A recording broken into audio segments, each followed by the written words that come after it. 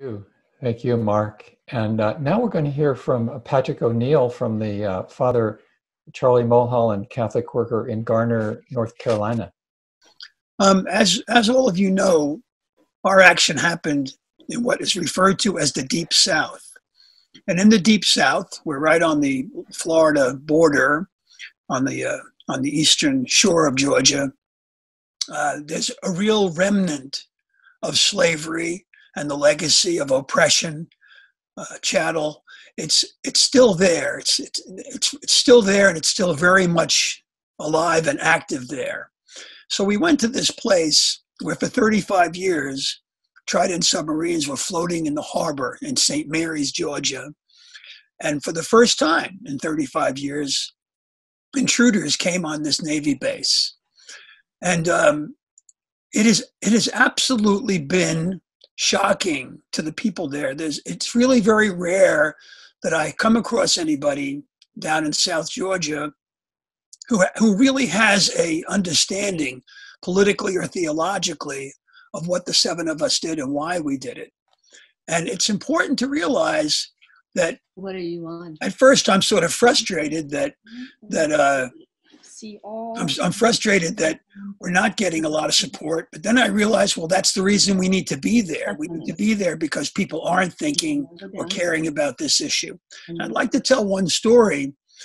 When the eight of us, when the seven of us were in the in the first jail we were in, when we were only facing state charges, um, someone asked the local priest in St. Mary's, Georgia, from the one Catholic church in that town to come see us in jail. So we had to segregate uh, by gender, but the four of us, the men, Carmen, Mark, Steve, and I, met this priest. He had a he had a little Eucharistic service, gave us Holy Communion, prayed with us. And then I kind of thought, well, maybe he's just going to leave now because I'd heard from one of the members of his parish that he'd already preached against us, having not met us, or and and so.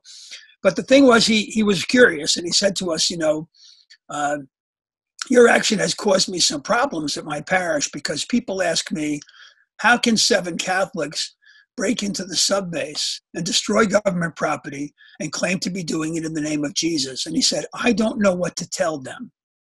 And that was the fascinating part. He didn't know what to tell them. But the good thing was, for 30 minutes, he listened to us. And Steve, a theologian, Steve Kelly, uh, kind of spoke in his his uh, his language, his theological language, and for 30 minutes he just listened to us. The only uh, disclaimer he had was in the middle of the whole thing. He just said, "I don't even believe in guns," but he listened very carefully, and remarkably, 30 minutes later, he completely understood us theologically and politically. Not that he necessarily joined our, our support group or anything like that. In fact, we never heard from him again. I, I sent him emails and didn't hear from him. But the point was that he did get it. But of course, we don't have time to speak to all the people in South Georgia and elsewhere about about the motivations of our action. A lot of people won't listen. But the thing that struck me was this man lived in a rectory that literally overlooked the uh, Kings Bay uh, inlet, and he possibly could see Trident submarines floating by, if not very close by. He knew they were there.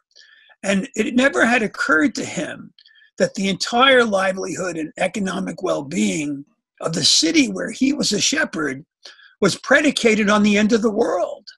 That's what Trident is. Trident is the end of the world. The Trident system can end life as we know it on planet Earth. And, and this is the case in all countries that are nuclear countries. Their governments tell the citizens the same thing don't worry, mutually assured destruction will save us. So basically, what citizens are being told in South Georgia and all through the United States and Canada and, and Russia and all the other countries that have nuclear arms is don't worry, mutually assured destruction, mutually assured destruction will last in perpetuity. And uh, essentially, our nuclear weapons are just props. No one would use them because they know the you know the dangers of that.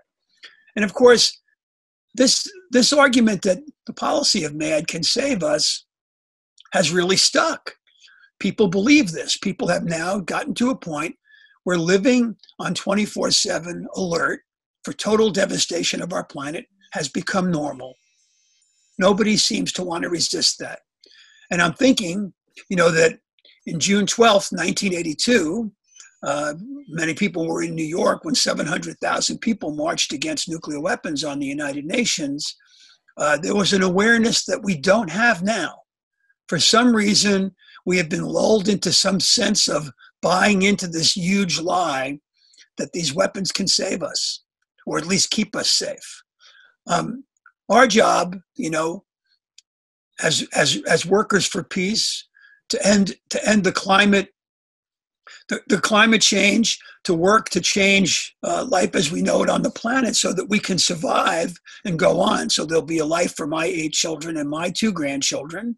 And we have 22 children among us uh, the seven kings bay plowshares uh, is that we can somehow reach people who believe that nuclear weapons are a normal part of life and also get people to sort of look at the military industrial complex with a critical eye. Uh, when Mark talks about this $1 trillion to, to make a whole new series of Trident submarines, where's the outrage? You don't hear anybody clamoring against this, and people have bought into this. And so, how do we develop mass resistance to this? And I guess maybe I'm hoping something can come out of the coronavirus that will wake people up to the fact that as a global family, we have to work together to resolve our problems, and there's no room for war. There's no room for killing. There's no room for nuclear weapons. And none of those things have a right to exist, and we have to do away with them. So my hope is that uh, that we're beginning that path, and I I have no idea if we are. Thank you. Thank you, Patrick.